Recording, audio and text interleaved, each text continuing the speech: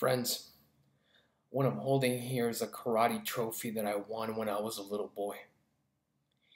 And I should not have been able to win this trophy because the kid I was facing was much better than me.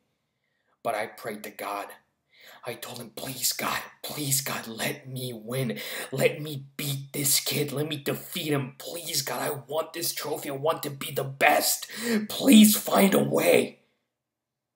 And God found a way because the kid got sick and he had to pull out of the tournament. He had to forfeit.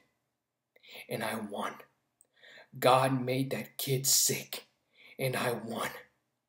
And it's all because of God.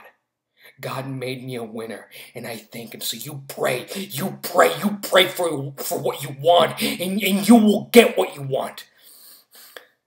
All right, friends, there's nothing too big for God. So you ask for anything. All right, have a good day.